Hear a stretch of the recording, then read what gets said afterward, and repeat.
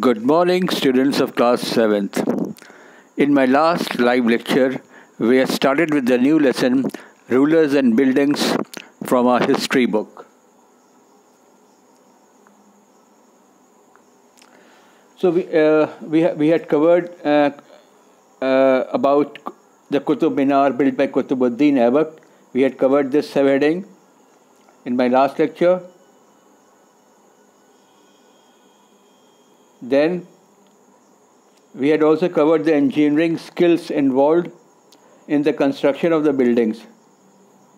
We had learnt about the trabeate or corbels type of uh, construction and the arcuate uh, style of uh, construction. Then we had also uh, read about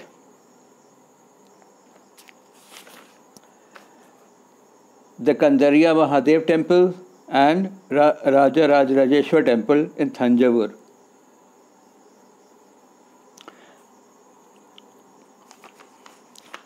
We were doing this subheading building temples and mosques.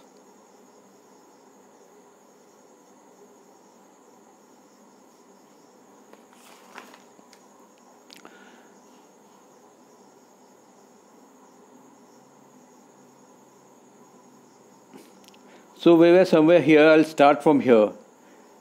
As each dynasty came to power, kings wanted to emphasize their moral right to be uh, to be rulers. जब नई नई dynasties I rule करने के लिए जो Kings थे वो अपने कोई मॉरल राइट दिखाने के लिए कि मेरे मेरे पास ये मॉरल अथॉरिटी है कि हम राजा रहे बनेंगे तो वो कुछ ना कुछ अच्छे काम करते थे constructing places of worship provided rulers with a chance to proclaim the close relationship with God तो वो क्या क्या उन्होंने कंस्ट्रक्टिंग प्लेसेस ऑफ़ वर्शिप उन्होंने? बहुत से मंदिर या मस्जिद बनवाए, जिससे कि ये दिखाने के लिए कि वो उनके भगवान से close close relationship with God उनके भगवान से बहुत ही क्लोज रिलेशनशिप या संबंध हैं। Rulers also afford patronage to the learned and pious also afford patronage to the learned and pious मतलब रूलर्स जो थे जो बहुत ही विद्वान लोग हुआ करते थे उनको और आ, और जो बताओ जो साधु संत समझ जैसे लोग होते थे उनको पेट्रोनेज मतलब उनको सहारा देते थे हर तरह से उनकी मदद करते थे and try to transform the capital and cities into great cultural centres उनके जो राजधानी होती थी और शहर होते थे उनको बहुत बड़ा वो सांस्कृतिक केंद्र के रूप में डेवलप करते थे जिससे कि उनको प्रसिद्धि मिले उनकी लोग तारीफ़ करें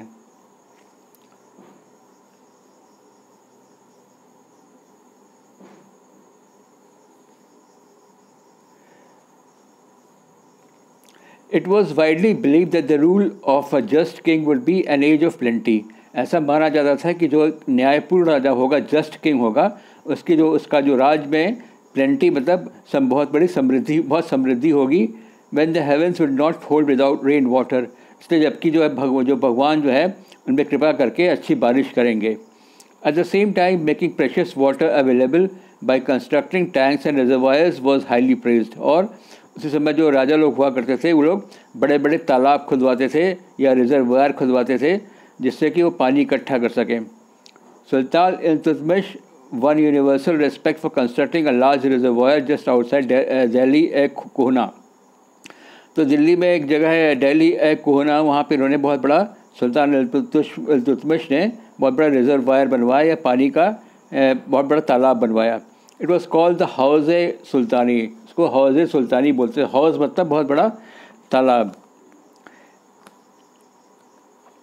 Rulers of often constructed tanks and reservoirs big and small for use by ordinary people तो राजा लोग थे, बहुत छोटे और बड़े तालाब बनवाते थे, जिससे कि जो साधारण लोग हैं, वो भी वहाँ से पानी पी सके, उसका फ़ायदा उठा सकें। Sometimes this tanks and reservoirs a part of a temple mosque ये जो ये टैंक्स थे, या जो तालाब थे, या रिजर्वायर थे, ये एक मंदिर या मस्जिद के हिस्सा हुआ करते थे। अब हम अगले सब हेडिंग पे आते हैं। Why were temples destroyed temples को क्यों तोड़ा गया? मंदिरों को। Because kings build temples to demonstrate the devotion to God and the power and wealth it is not surprising that they were attacked once one another's kingdom तो ये जो ये जो है because temples king builds temples and demonstrate the devotion to God जो राजा लोग थे, मंदिर बनवाते थे भगवान के प्रति अपनी श्रद्धा भक्ति को दिखाने के लिए और अपने जो पावर वेल्थ था उनकी शक्ति और जो समृद्धि थी उनके पास जो धन दौलत था, उसको दिखाने के लिए ये मंदिर बनवाते थे। It is not surprising that when they attack one another's kingdom जब जब राजाओं में आपस में लड़ाई होती थी तो क्या करते थे कि वो क्या करते थे, इन टेम्पल्स को, इन बिल्डिंग्स को ही तोड़ते थे। In the early ninth century when the Pandyan king Shri Mara Shri Vallabha invaded Sri Lanka. जब ये अर्ली नाइन्थ सेंचुरी में पंडियन पंडियन राजा था, श्री, महाराज श्री वल्लभा उसने इन्वेडेड श्रीलंका मतलब श्रीलंका पर चढ़ाई कर दी एंड डिफीटेड द किंग वहाँ के राजा को हरा दिया, उनका नाम था सेना फ़र्स्ट। 831 से 850 851 की बात है। The Buddhist monk and chronicler Dhamma Dhammakitti noted. तो वहाँ के जो क्रॉनिकलर मतलब जो हिस्टोरियन थे बुद्धिस्ट बुद्धिस्ट हिस्टोरियन वो लिखते हैं he remove all the valuables तो उन्होंने क्या किया? जो मंदिर पर हमला किया तो वहाँ पर जितने भी ए, कम मतलब कम कीमती सामान थे सोना चा सोना चांदी हीरे जवाहरात जो थे उनको वहाँ से हट निकाल दिया। The state of the Buddha the statue of the Buddha made entirely of gold in the jewel palace जो बुद्धा का जो स्टैचू था वो गोल्ड से बना हुआ था in in jewel palace and the golden image in various monasteries all these were seized जिसको उसने जब्त कर लिया। The blow of the pride of the single Sinhalese ruler had to be avenged and the next Sinhalese ruler Sena second order his general to invade Madurai अब क्या हुआ? जो जो सिंगली का जो जो हमला हुआ था सिंगलियों के ऊपर जो हमला हुआ था इसको आ, मतलब इसका बदला लेने के लिए क्या हुआ? क्या किया कि जो दूसरा राजा हुआ सिंगले सेना सेकंड नाम था उसने ऑर्डर किया अपने सेना को कि मदुरई या जो पंडियन का कैपिटल था मदुरई तमिलनाडु में, उस पर हमला कर दे। The Buddhist chronicler noted that the expedition made a special effort to find and restore the gold statue of the Buddha तो उस तरह से उन्होंने वहाँ पे मदुरई में हमला करके जो गोल्ड स्टैचू था बुद्धा का, वो वहाँ से लेके आए और वहाँ पे उसको फिर से वहाँ पे स्थापित किए।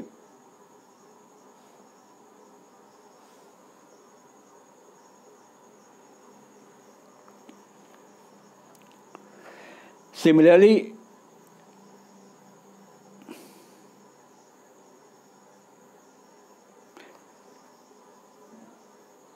Similarly, in the early 11th century, 11th century में क्या हुआ when the Chola king Rajendra first built a Shiva temple, उसने एक शिवा टेंपल बनाया राजेंद्र फ़र्स्ट चोला किंग राजा जो थे in his capital he filled it with prize statues seize from defeated rulers तो जो बहुत जो जिन राजाओं को उन्होंने हराया था, वहाँ से बहुत सी कीमती स्टैचूज़ या मूर्तियाँ लेके आए थे, उसको उन्होंने भी इस मंदिर में स्थापित किया। And in complete list included sun pedestal from the Chalukyas वहाँ से एक सन पेडेस्टल लेके आए थे चालुक्या राजा से। अब Ganesha statue and several statues of Durga वहाँ से लेके आए थे। और Nandi statue from the eastern Chalukya eastern Chalukya से वो नंदी का स्टैचू लेके आए थे and image of Bhairava a form Shiva and Bhairavi from the Kalingas of Orissa से लेके आए थे and the Kali statue from Pala of Bengal Pala of Bengal से वो काली माता का स्टैचू लेके आए थे। ये सब उन्होंने इस मंदिर में स्थापित किया, जो उन्होंने मंदिर बनवाया, शिवा मंदिर बनवाया था इलेवेंथ सेंचुरी में।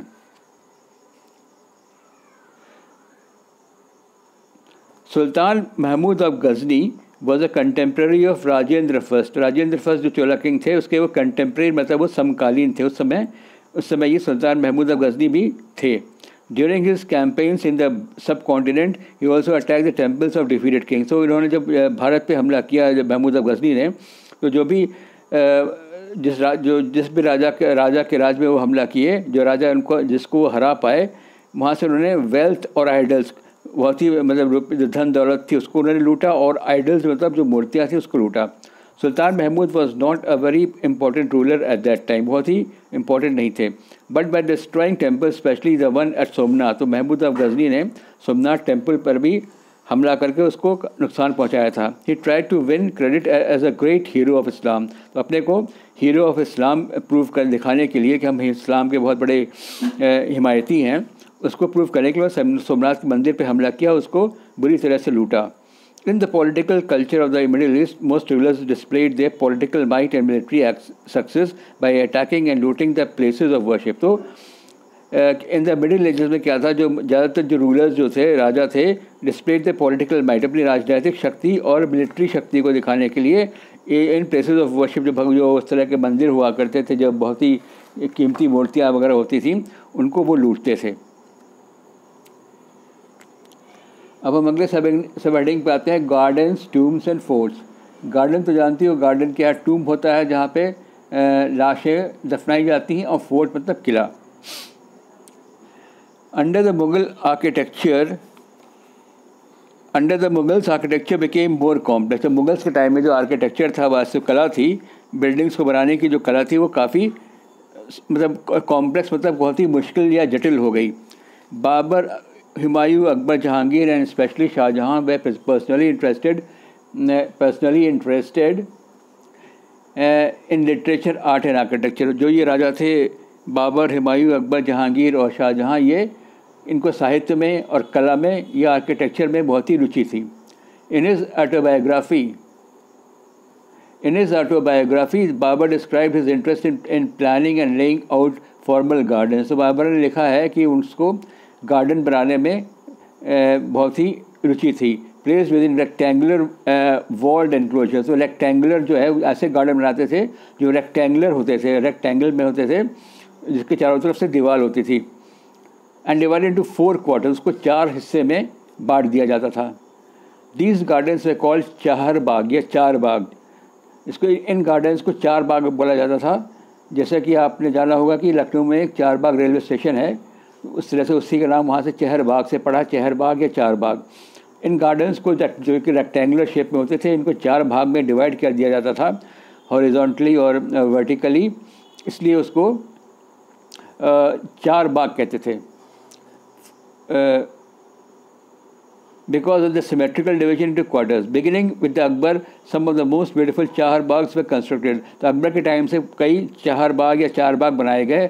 बाई जहांगीर शाहजहाँ से अकबर के बाद जो है, जहांगीर शाहजहाँ ने बहुत से चार बाग बनवाए। इन कश्मीर, आगरा और दिल्ली में इसे बनवाए। देवे several important architecture architectural innovation during Akbar reign तो अकबर के समय में आर्किटेक्चर में बहुत से इनोवेशन मतलब नई नई चीज़ें लाई गई। For inscription Akbar architect architects turn to the tomb of central Asian ancestors तो इंस्क्रिप्शन जो शिलालेख होते थे उसके उसको बनाने के लिए वो जो है अकबर के जो आर्किटेक्ट आर्किटेक्ट्स थे वो सेंट्रल एशिया से ए, मतलब वहाँ से वो आइडियाज़ लेके आए। तैमूर जहाँ पे तैमूर तैमूर का राजा था जहाँ का। The central towering dome and the tall gateway became important aspects of Mughal architecture और मुगल आर्किटेक्चर की खासियत क्या थी? सेंट्रल टावरिंग डोम एक बीच में बहुत बड़ा डोम या गुंबद होता था and the tall gateway जाना, अंदर जाने के लिए बहुत बड़ा गेट वे या रास्ता होता था। Fire fire visible in Humayun's tomb है? First visible in Humayun's tomb तो जो ये चीज़ जो है हमायूं का जो टॉम है, ये फिगर इलेवन में दिखाया गया है उसमें, पहले बात ये चीज़ें दिखाई देती हैं। It was place in the centre of a huge formal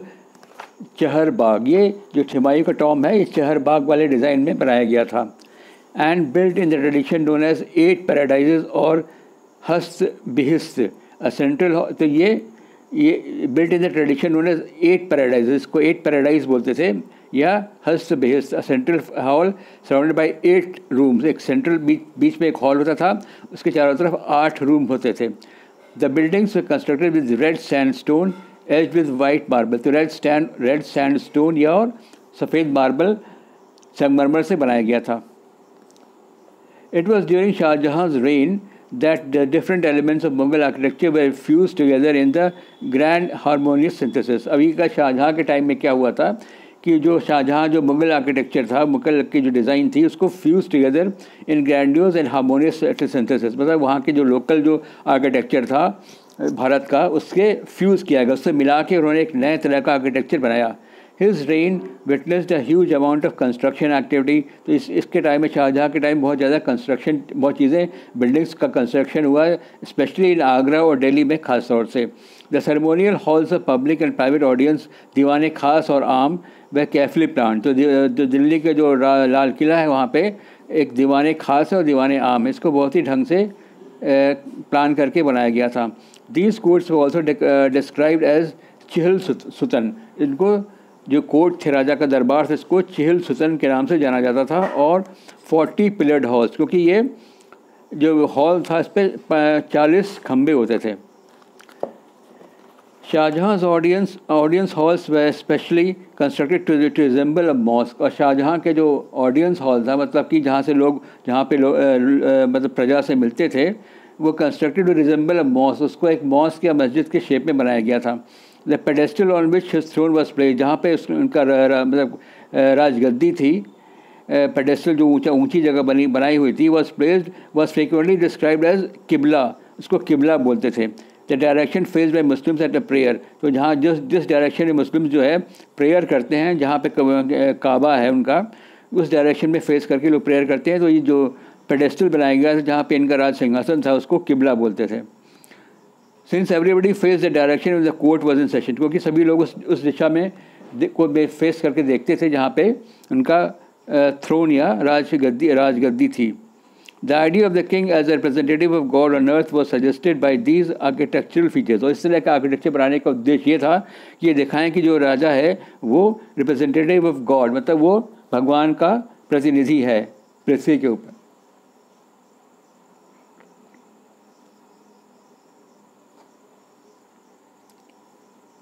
The connection between royal justice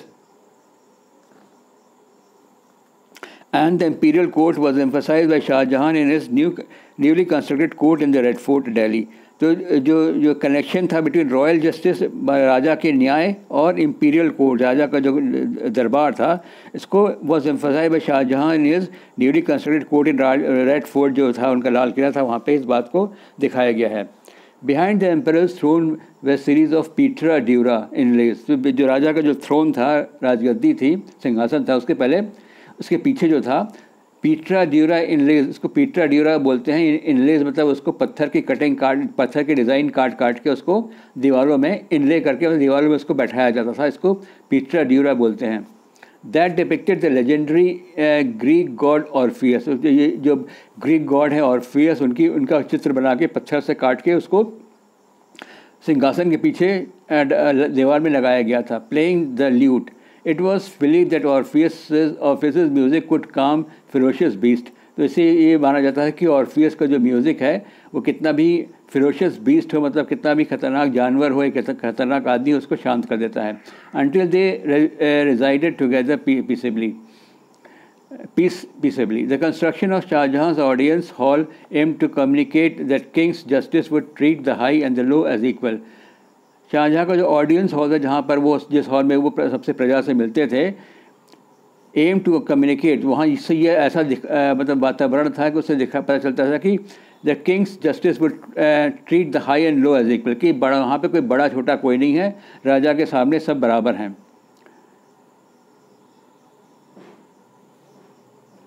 In the early years of his reign Shah Jahan capital was at Agra तो शाहजहाँ की राजधानी पहले आगरा में थी a city where the nobility had constructed their homes on the banks of river Yamuna तो यहाँ के जो राज दरबारी थे, उन्होंने अपने जो घर थे, आगरा में जो यमुना नदी है उससे उसके बैंक पे बनाए थे, किनारे पे बनाए थे। These are set in the in the midst of formal gardens और ये जो बने थे, घर बने थे, ये गार्डन्स के बीच में बने थे in the char Bagh format जो चार बाग जो फॉर्मेट था रेक्टेंगुलर गार्डन है और उसमें चार, उसको चार भाग में डिवाइड किया गया है। उस डिज़ाइन में ये, इनके जो घर थे, वो बने थे। The char bagh garden also had a variation that historians describe as the river front garden इसको रिवर फ्रंट गार्डन कहते हैं, क्योंकि ये यमुना के फेसिंग बने थे। Shah Jahan adapted the river front garden in the layout of the Taj Mahal तो ताजमहल बनाने में भी जो ये जो फॉर्मेट है रिवर फ्रंट गार्डन वाला की वो वो भी उसी ताजमहल भी उसी पैटर्न पे बना हुआ है the grandest architectural accomplishment of his reign. Here the white marble mausoleum was placed on the terrace by the edge of the river. जो जो वाइट ये सफ़ेद मार्बल का बना हुआ जो मसोलियम है मतलब वहाँ पे, जहाँ पे शाहजहाँ और ममताज़ महल की जो मतलब वो समाधि है, वो रिवर को फेस करती है the garden was is to its south और जो गार्डन जो था वो साउथ की तरफ़ था Shah Jahan developed this architectural form as a means to control the access that nobles had uh, to the river. तो develop this active form as a means to control the access at noble side to the river तो जो इसने ये इस तरह से बनाया था। In the new city of Shahjahanabad एक इसने एक नया शहर बना, बनाया था Shahjahanabad that he constructed in Delhi जिससे दिल्ली बना था। Imperial palace commanded the river front जो पैलेस था वो रिवर की तरफ़ फेसिंग था। Special favoured nobles like his elder son Dara Shikoh were given access to the river तो नदी तक जाने का अधिकार सिर्फ़ जो खास खास उसके नोबल्स थे, दरबारी थे, उनके पास था या उनका जो बेटा था दारा शिको वो जा सकता था।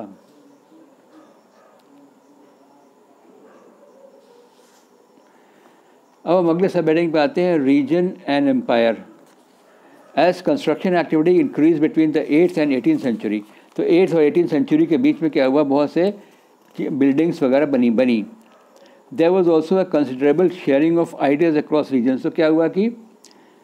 जो बिल्डिंग स्ट्रक्चर था, उसका जो आइडियाज़ थे, भारत के और भी रीजन्स के जैसे भी, में जो बिल्डिंग्स बनती थी, उनका शेयरिंग ऑफ़ आइडियाज़ हुआ कि वो आपस में मिलजुल के एक नए तरह का उन्होंने आर्किटेक्चर या वास्तुकला का निर्माण किया।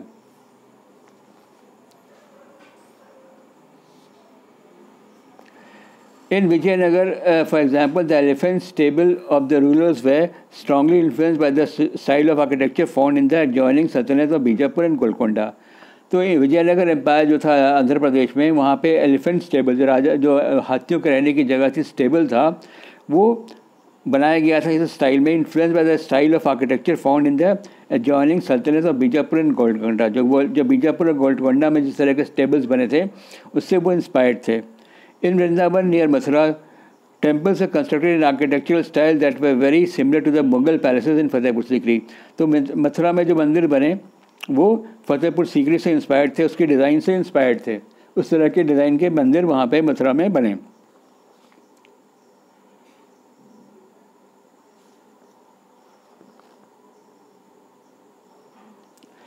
The creation of large empires at broad different regions under the rule helped in the cross fertilization of artistic forms and architectural styles. The creation of large empires, जब बड़े बड़े मतलब राज मतलब राज एम्पायर मतलब बहुत ही बड़े बड़े राज्य बन गए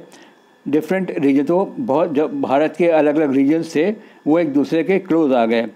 help in the cross fertilization of artistic forms मतलब जो आर्टिस्टिक जो आर्टिस्टिक डिज़ाइंस थी, वो एक दूसरे के लोग समझने लगे एक से एक रीजन से दूसरे रीजन के लोग समझने लगे और उस तरह से वो अपना नया आर्किटेक्चर बनाए। Mughal rulers particularly skilled in adapting regional architectural style जो मुगल राजा थे, वो जो लोकल जो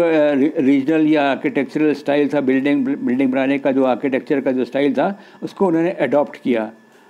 In the construction of the own buildings in Bengal for example the local rulers had developed a roof तो क्या हुआ? बंगाल में क्या हुआ? जो जो वहाँ का राजा था उसने एक ऐसा रूफ बनाया था that was design to resemble a thatched hut जिसको देखने से लगता था कि वो फूस की झोपड़ी है।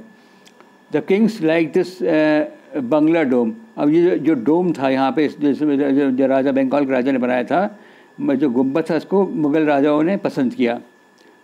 So that they use it in the architecture उन्होंने इस तरह इस आर्किटेक्चरल डिज़ाइन को उन्होंने अडॉप्ट किया और उस तरह के अपने महलों में उसका उस उस तरह के डिज़ाइन बनवाई। The impact of other regions was also evident in in Akbar's capital at Fatehpur Sikri. Akbar की जो राजधानी थी फतेहपुर सिकरी में many of the buildings bear the impact of architectural style of Gujarat and Malwa वहाँ पे गुजरात और मालवा में जिस तरह की बिल्डिंग्स बनी हुई थी, उस आर्किटेक्चरल स्टाइल से वो इन्फ्लुएंस है फतेहपुर सीकरी जो बनी है। गुजरात और मालवा में जिस तरह की बिल्डिंग्स